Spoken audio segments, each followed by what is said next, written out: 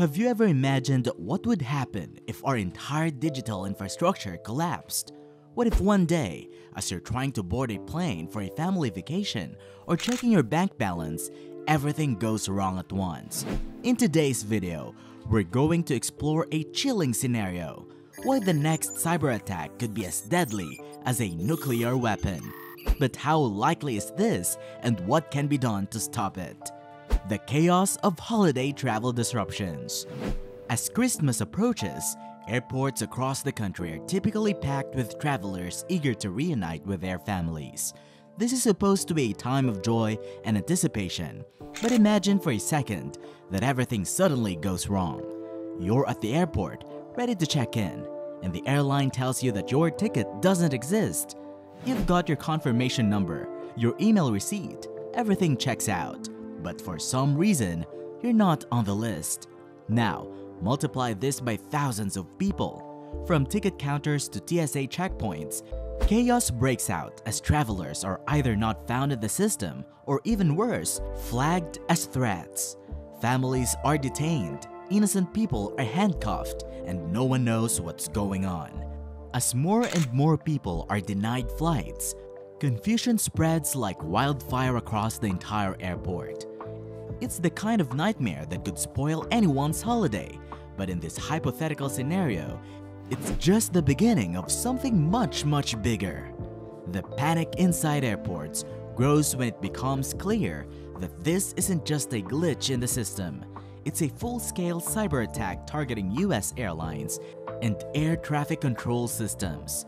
This unprecedented breach leaves thousands of travelers stranded, throwing one of the busiest travel seasons into disarray. Now, here's the kicker. The cyber attack doesn't stop with airport check-in systems. It quickly spreads into other sectors, causing an even more dangerous ripple effect. As airlines scramble to ground flights, protect passenger information, and restore security, another wave of attacks is about to hit critical infrastructure in the US. So what happens when these attacks target something more life-threatening than delayed flights. Let's move on to the next phase of this cyber nightmare. Power outages and the energy crisis. In Minnesota, a gas-fired power plant falls victim to a cyber attack where malicious code increases gas flow to turbines, causing a catastrophic explosion and knocking out power. Thousands of homes lose electricity and heating amid a harsh winter. This isn't an isolated event. Similar attacks occur nationwide, strategically timed for winter, when homes rely on gas for heat. Within hours, nearly half of the country's gas plants are offline, causing widespread outages and a heating crisis. Millions are left freezing and hospitals face power shortages as emergency fuel supplies run low, while the attackers prepare for the next move. Catastrophic oil spills in the Gulf of Mexico. As if widespread power outages and air travel chaos weren't enough, the cyber attackers set their sights on another critical part of the US infrastructure, the oil industry. Suddenly, Hundreds of these offshore platforms suffer simultaneous system failures. The malicious code introduced by the attackers disables pressure sensors and overrides safety protocols. As a result, the wells keep pumping oil unchecked, and catastrophic bursts in the pipes lead to massive oil spills. What follows is an environmental disaster of unprecedented scale. For context, the Deepwater Horizon oil spill released around 4.9 million barrels of oil into the Gulf back in 2010.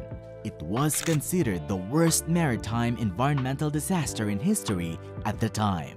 But now, in this cyber-induced catastrophe, the volume of spilled oil is more than triple that amount.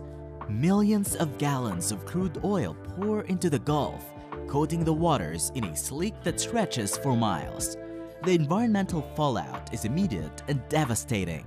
Marine life is wiped out on a massive scale with fish, dolphins, and sea turtles found dead along the shores in record numbers.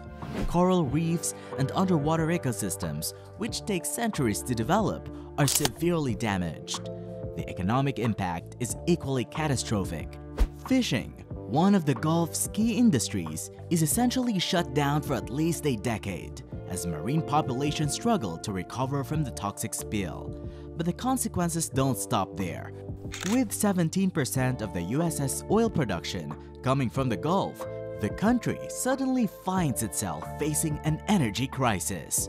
Global oil prices skyrocket, sending shockwaves through the economy. To make matters worse, the US is forced to lean more heavily on foreign oil imports, specifically from Saudi Arabia, a nation the US has been trying to distance itself from over its human rights violations. This geopolitical shift only heightens tensions in the Middle East, particularly between the US and Iran, as Saudi Arabia uses this opportunity to manipulate the US into confronting its regional rival. The US, weakened by domestic crisis, finds itself teetering on the edge of a new conflict in the Middle East. Air travel disasters and chaos in the skies. Air travel heavily depends on precision systems like GPS and Instrumental Landing Systems, or ILS, especially in poor weather. These systems help pilots navigate safely through storms, fog, and low visibility. But with cyber attackers now targeting these systems, the skies become unsafe. In one tragic event, a passenger plane with 187 onboard descents through turbulent winter weather, relying on GPS. Suddenly, the signals are off by hundreds of feet, putting the plane on a collision course with the ground.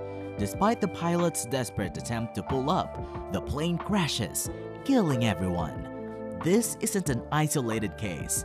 Similar incidents unfold across the country, one plane narrowly avoids disaster after pilots manually override the system, while another drifts over the Atlantic due to faulty navigation, running out of fuel before it can return. Though clear weather allows most pilots to regain control, two more planes are lost, with tragic fatalities. The aviation industry is in crisis. Hundreds of planes are grounded technicians race to secure systems, and thousands of travelers are stranded. The FAA and Homeland Security issue emergency alerts, suspending flights nationwide. The collapse of the US financial system.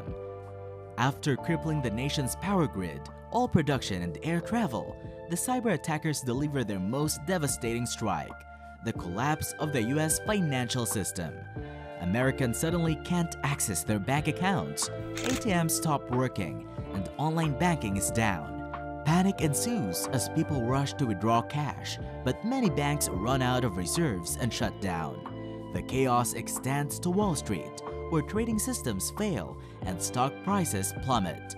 Blue chip companies lose billions, and the New York Stock Exchange halts trading in a desperate attempt to contain the crash retirement savings, pensions, and investments are wiped out overnight, leaving many Americans financially ruined. As panic spreads, credit card networks fail, making basic purchases impossible. The US government steps in, injecting emergency funds to stabilize the banking system, but confidence is shattered. Major corporations announce massive layoffs, and the economy teeters on the brink of another Great Depression. Globally, markets crash, and nations that relied on US financial stability scramble to protect their own economies. The attack exposes America's vulnerabilities with outdated systems and a shortage of cybersecurity experts, leaving the nation dangerously unprotected. This fictional scenario may seem far-fetched, but it's not entirely out of the realm of possibility. With the world's increasing dependence on digital infrastructure, cyber attacks are becoming one of the most dangerous threats to national security.